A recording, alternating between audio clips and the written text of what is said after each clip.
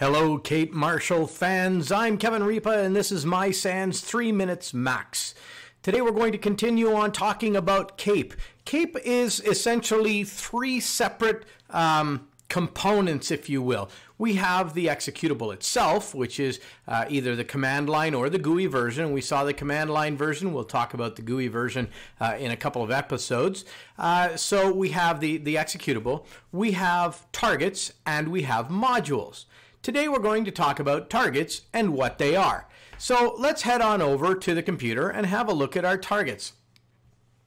So we have, we can see in our KAPE repository uh, a folder called targets.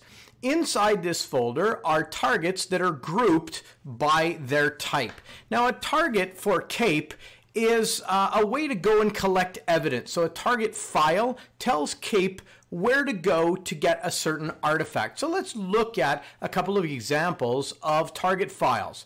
So let's say that I want to go into my mounted forensic image or a drive and I want to pull out all of the files that speak to me about evidence of execution.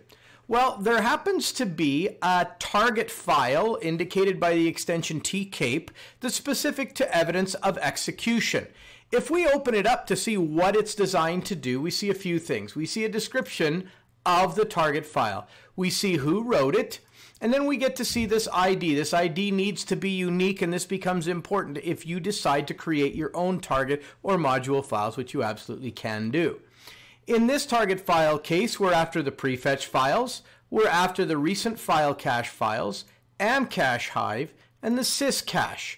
Now, we can see that it's supposed to go get these, but really, what does that mean? Because it doesn't tell it where to go. Well, what it's telling it to do is go find the prefetch target file, the recent file cache uh, target file, etc. So let's go find the prefetch target file. Because evidence of execution is really calling upon a number of target files to do something. So here's the prefetch. It says, go get the prefetch files. Where are they? This is where they are. Grab everything in that folder that has this extension and pull it out and put it somewhere that we can work on later.